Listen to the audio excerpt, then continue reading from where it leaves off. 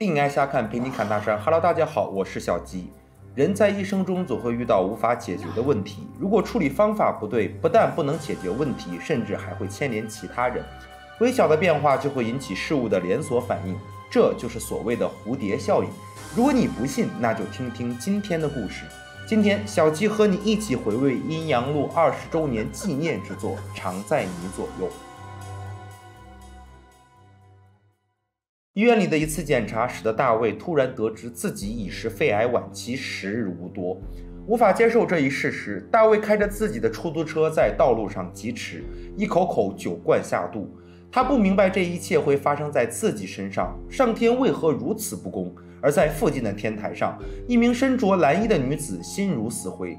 同样的一条街上，修警的 Sam 带着妻子阿斯和姑母龙婆正驾车路过，可就是一刹那，龙婆脸色大变，似乎预知到了什么。她告诉 Sam，如果想要命的话，就开快些离开这里。果然，大卫酒醉失控，冲向他们。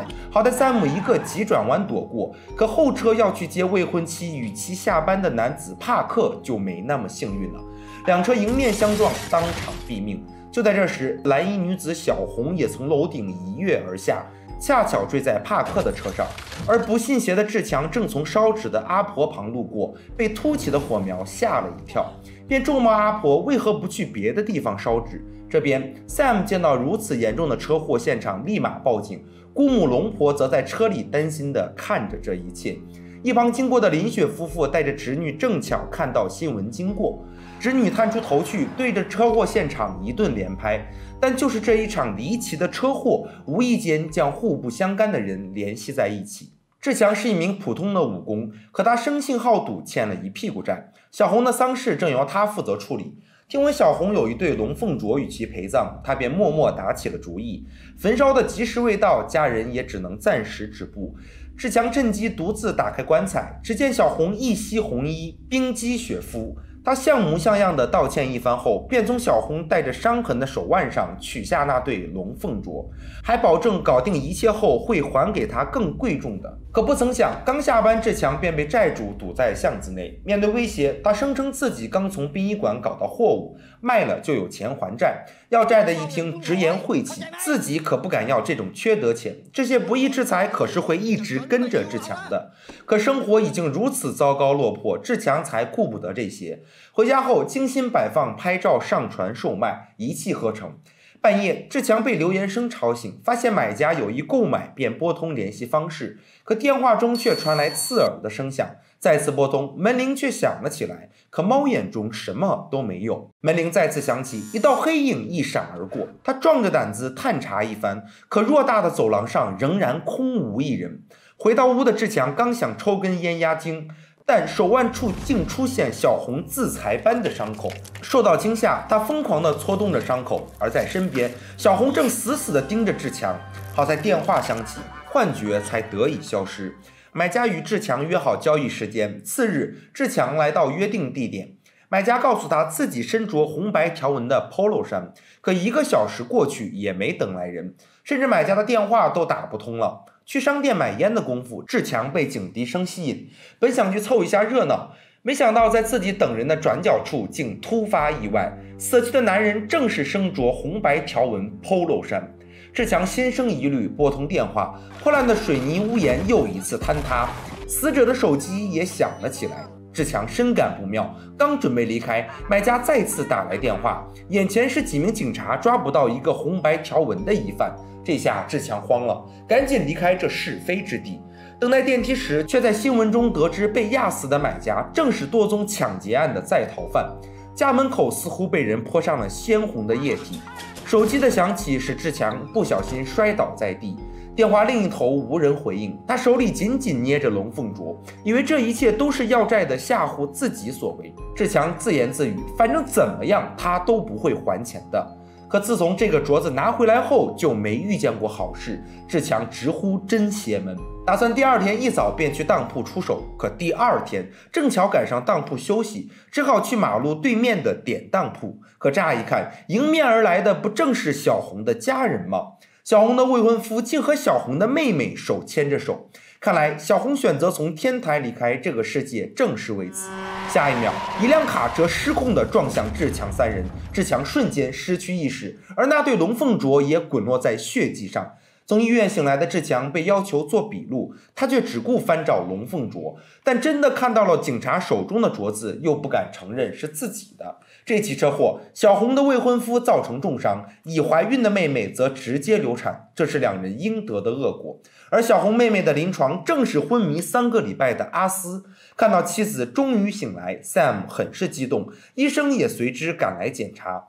浑身是伤的志强一瘸一拐地回到家中，自己卖货不成，还差点丢了性命，真是倒霉至极。更邪门的是，那对龙凤镯竟再次回到家中。忽的，眼前红影闪过，抬头看去，一袭红衣仿佛丝丝血光，小红正双眼死盯自己。门外响起要债的敲门声，志强四处躲闪，选择跳窗逃走。但红色烟雾还是穷追不舍，最终失去的小红与龙凤镯一同消散。而在志强对面的花店，帕克的未婚妻正巧买花离开。所谓冤有头债有主，志强最终自食贪婪造成的恶果，既欠了人的债，还欠了鬼的债。短短的一生，都在被追债。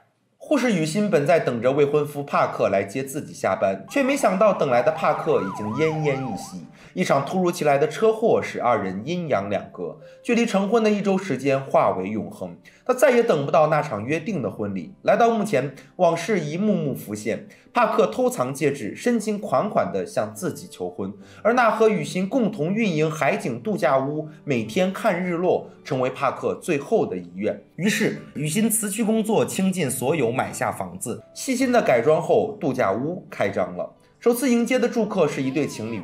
女人面色不悦，原来她与男子并非原配。作为情人，她想让男人离婚娶自己，但男人不愿妥协。分手前，女人以最后一次约会为由带男人来到这里，其实是想同归于尽，得不到就毁掉。女人用胶带封闭所有缝隙，起火烧炭，并告诉原配两人要做一对鬼夫妻。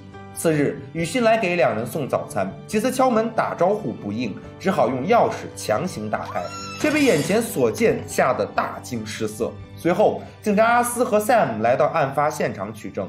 听完临死前女人的录音，阿四能够确认这起案件不关任何人的事。可接二连三发生的事情使雨欣十分崩溃。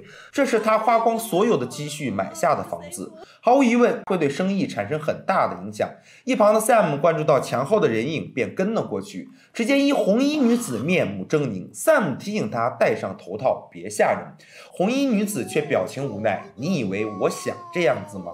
警察刚离开，两个记者就冲了进来，采访雨欣为什么会买下房子。崩溃的雨欣轰走两人，而 Sam 也提醒阿斯这里真的有脏东西。于是阿斯便建议雨欣做场法事，并将姑妈龙婆的名片交给了他。夜晚，雨欣查询凶宅，果然让他找到了相关新闻。原来这里的前房主生前是个十分爱美的女人，但在一次整容手术中毁容后抑郁，无奈女人已签了免责声明。医院也没有相应的措施。面对丈夫的嘲笑抛弃，她选择画上最美的妆容，独自离开了这个世界。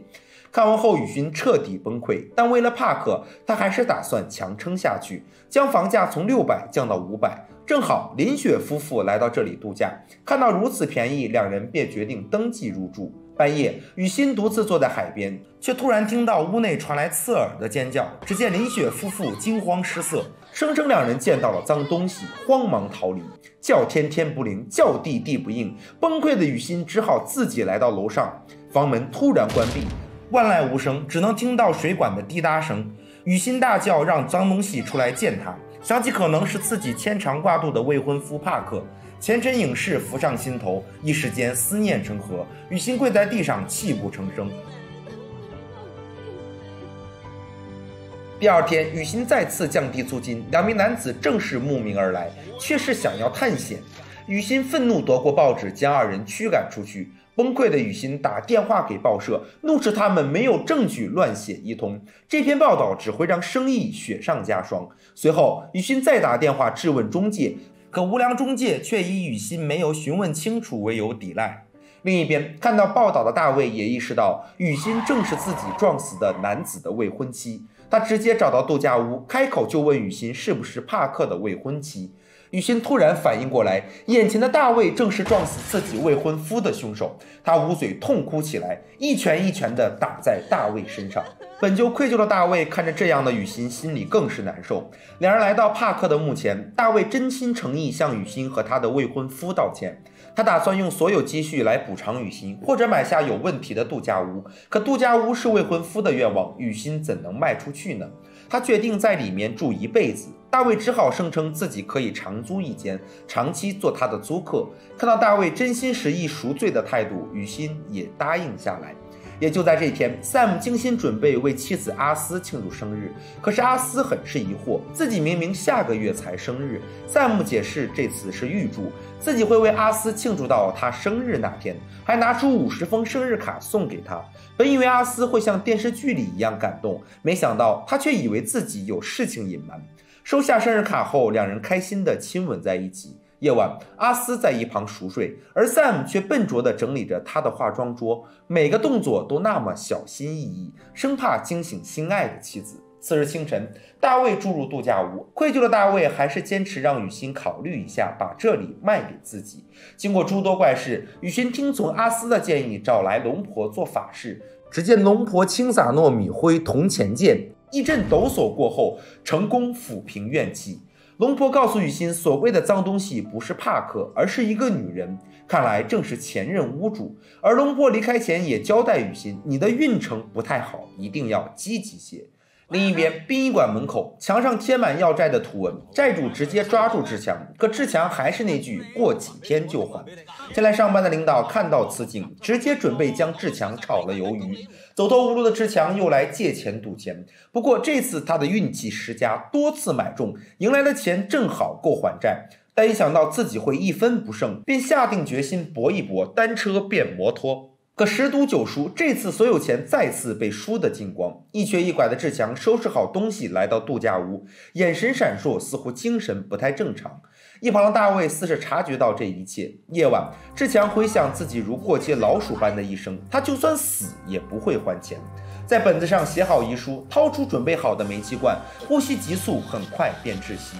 半夜，屋外电闪雷鸣，大卫来到志强房间查房，见敲门无人回应，便推开。发现志强已经离开人世，但第二天早上，大卫却声称自己没有见到志强。雨欣担心的来到房间，一开门，屋内却什么都没有。大卫却解释可能只是逃单。雨欣暗自庆幸，不是在这里做傻事就好。Sam 贴心的做饭，等待阿斯回家，看到他满心欢喜用信用卡积分兑换的唱片机，Sam 不住吐槽了两句，但话语中满是对阿斯的溺爱。正在这时，门铃响起，来的正是姑妈龙婆。可 Sam 却若有所思。待阿斯不在旁边，龙婆突然质问他：“你什么时候准备告诉阿斯？”看来 Sam 真有事瞒着他。夜晚，Sam 签了许多提款单，将他们藏了起来。次日，一名高中生入住度假屋，雨欣看着夜晚还明亮的屋子，担心地送去糖水。高中生谎称自己在温习功课，实际上本子上却写满了死字。而雨欣也睡得不安稳，翻来覆去直冒冷汗。突然传来的声音使他惊醒，雨欣预感不妙，直接飞奔上楼。敲门声吵醒沉睡的大卫，他直接撞开房门，发现女孩已吊在绳子上。雨欣当场崩溃，为什么又有人在这做傻事？为什么一个个都不放过自己？大卫强装镇定，他熟练地戴上手套，锯掉绳子，戴上口罩，拿起锯子准备处理。雨欣想要报警上前拦住了他。大卫不想因为这些再影响雨欣的生意，这里的一切责任他都会承担。就在这时，高中生醒来，大卫质问高中生为什么不考虑别人，这样做会害惨雨欣。高中生哭着道歉，自己只是怕考不好没进大学。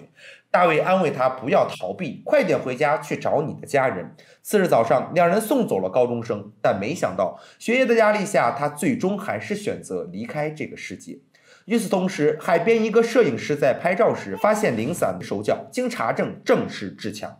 接到报案的阿斯例行排查，大卫和雨欣谎称根本没见过志强，入住登记本上也确实没有志强来过的痕迹。警察只好离开这里，但雨欣联想起这一切，他害怕地躲闪着大卫。原来是大卫撕掉了他的登记记录，他只是不想让那些人的行为再影响雨欣。夜晚，赛姆买了两个冰淇淋给阿斯，两人恩爱地坐在路边的长凳上。他想让阿斯整理好家中的东西。阿斯误以为他是嫌自己东西太多，可他只是想试探一下，还可以给阿斯买一个更大的柜子。聊天间，却见死去的志强向远处走去。Sam 急忙追赶，将他叫住。惊慌的志强将一切真相都告诉了他。那晚，推开房门的大卫看见志强呆立当场，他第一时间想要报警，可是脑海中不时响起雨欣的哭声。纠结之下，对雨欣的愧疚让他做出了毁尸灭迹的选择。雷电之后，那一夜下起滂沱大雨，每一滴似乎都在刷洗着罪恶的痕迹。当雨欣知道这一切的时候，大卫留书一封，字里行间无一不在诉说着对雨欣的亏欠。自己得了绝症，本就时日无多，上天早就给自己判了死刑。可在这有限的时间里，到底该如何弥补雨欣呢？唯有那所有的积蓄，唯有那自首、坦白、承担责任。往后的日子里，希望你能好好照顾自己。与此同时，大卫来到警察局，以非法处理尸体的罪名自首。监狱里，他将衣服撕成布条绑在栅栏上，闭上眼睛冲刺，绳子拉扯让他倒在地上。面对良心的谴责，他坚定地赴死。而雨欣则一直坚守度假屋，生意也越来越好。所谓风雨过后就是彩虹，经历过未婚夫身亡、度假屋生意惨淡，痴情的雨欣终于越过难关。警察局内，阿斯总觉得雨欣还是有嫌疑的，但丈夫 Sam 告诉她，雨欣什么也没有做。此时收旧货的来了，正是林雪。阿斯让 Sam 不用等自己，让他先回家。但是同事却莫名其妙地看着他。自从昏迷醒来后，阿斯就神经兮兮的。这些旧漫画让林雪如获至宝，可阿斯却认为这都是垃圾。如今在网上什么都可以看到，林雪却直言收回来的东西可以变成别人难忘的宝藏，还介绍自己的店，希望阿斯有空去看看。回到店铺里，林雪又听起侄女的唱片，感慨如果侄女还活着，一定会成为天后。回想起侄女首张唱片发行时的场景，三岁时父母就离开了她，是自己含辛茹苦将侄女拉扯到大。侄女在唱片上签上独一无二的易掌柜，送给了早已如同生父般的舅舅。无论多少次回想，那天都是那么幸福。妻子回来看见林雪的哭状，心如刀绞，便把唱片收了起来。而扔垃圾的 Sam 则遇到身着黑白衣服的两名青年，他恳求二人再给自己点时间。见他诚心祈求，二人再次宽限他一周。次日，为了配合自己换的唱片机，阿斯来到林雪的店铺。天意使然，阿斯淘来的正是林雪侄女的那张。恰巧老板娘低头找东西，并没注意到。阿斯对此次的唱片很满意。一旁的 Sam 还说他买到了珍藏版。他知道自己以前老责怪阿斯，他向阿斯道歉。阿斯想让他再说一遍，Sam 难为情，用一个吻结束了对话。他兴奋地拉起阿斯一起跳舞，而阿斯还惊叹结婚后丈夫就没再和自己跳过舞，今天是怎么了？另一边，回到店里的林雪发现侄女的唱片不见，便询问妻子。妻子声称自己心疼林雪，每次都会哭，直接扔了一了百了。但林雪却认为很过分，伤人的话语脱口而出，气愤地赶妻子走。仅仅因为一张唱片，老板娘觉得丈夫不可理喻，于是伤心离去。另一边，Sam 和阿斯相拥而眠，吱呀一声，卧室的门被打开，只见已逝的侄女在黑暗中出现，唱片却自己响起。两人起床来到客厅，阿斯以为唱片跳针。可 Sam 看到女人的头颅竟随着唱片机诡异转动，开灯后又消失不见。于是 Sam 准备将唱片遗弃，两人一同将唱片扔进楼下的垃圾桶。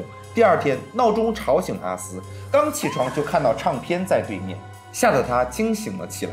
Sam 告诉可能他昨晚回来没关门，阿斯就急忙起床确认一番，正巧看到了巡楼的管理员。阿斯误以为管理员把唱片捡回来放在自己家里，可管理员真捡到的话，早就自己拿走了。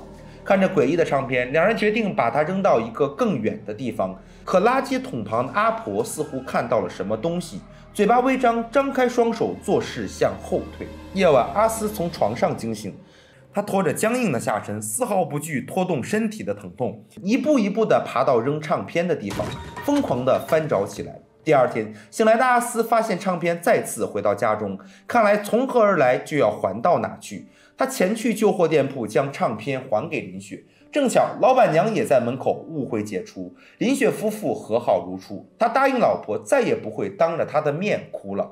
次日晚上，萨姆和阿斯出来散步，萨姆决定告诉他事情的真相，而阿斯最近也意识到了萨姆的奇怪。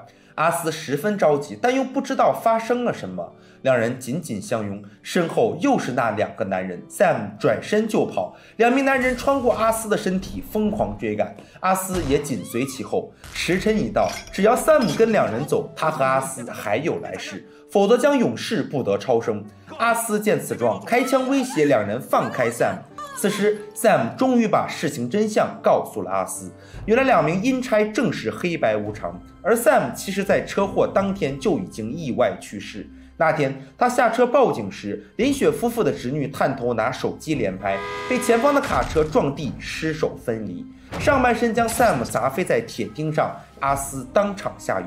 而 Sam 陪伴阿斯的这些天，只有他能看见 Sam。Sam 害怕告诉阿斯真相，自己就要走了。他只后悔以前对阿斯不够好，于是便停留人世，尽可能的做很多之前没做过的事。他喜欢看阿斯笑，想在走之前看到阿斯再笑一次。可阿斯无法强装笑语，直接哭成了泪人。可如今已是阴阳两隔，Sam 被黑白无常晋升，永远的离开了爱人。阿斯痛苦地跪在地上，本想开枪陪 Sam 一起走，却被赶来的警察阻止。阿斯被医生诊断为思觉失调，因为不愿意接受事实，所以经常会出现幻觉。Sam 仿佛还在身边，向自己挥手，自己也会尽量保持最美的笑给他。天涯地角有穷时，只有相思无尽处。蒹葭之思，铭心刻骨。而雨欣则握紧项链，告诉相片中的丈夫：“我已经嫁给你了。”无论如何，我都会撑下去，让我们的度假屋越来越好。本片完。《阴阳路之常在你左右》于二零一七年上映。本片延续前六部的风格，恐怖中带有喜剧色彩，内容情节上恐怖之余还引人深思。首先，龙婆的出场和开场白一上来就让人不禁感慨，还是老港式恐怖片的味道。强大的演员阵容，三段式的故事结构，有意致敬的挥手镜头，以及诸多老面孔的客串，比如饰演阿萨未婚夫的林德信、追债人卢慧光、管理员张达明等等，你们认出了几个呢？故事印证了蝴蝶效应这一说辞。本毫不相干的四组人因为一场车祸而紧紧相连，因为一个微小的变化就影响了事物的发展。大卫接受不了自己患上了肺癌，便饮酒醉驾。不理智的行为导致雨欣的未婚夫帕克出了意外，因为车祸的发生，Sam 永远停留在了这条街。林雪夫妇侄女也被车祸吸引，丧命于此。小红正好坠落在雨欣未婚夫的车上。志强在殡仪馆工作，正好负责小红的丧事。因为贪念，他动起了小红陪葬品的主意。最后人鬼追债，精神失控，自食恶果。而大卫也受不了良心的谴责，最终选择独自离开赎罪。正所谓阎王叫你三更死，绝不留你到五更。尽管龙婆提醒 Sam 赶快离开这条街，可还是逃不过阎王爷的手掌。天意不可违，每个人不负责任的决定，可能牵一发而动全身。在面对无法解决的问题时，我们应该尽可能冷静下来，而不是去进行一些伤害自己生命的事情。可能在无意间，你的行为也会牵连到无辜之人。酒驾赌博不可取，缺德事做多了遭报应。珍爱眼前你所拥有的一切，热爱自己的生活和生命。瞎看不白看，感谢您的陪伴观看。您还有什么想说想聊的，欢迎在留言区跟我们留言互动哦。今天的故事就到这里，我们下期再见，拜拜。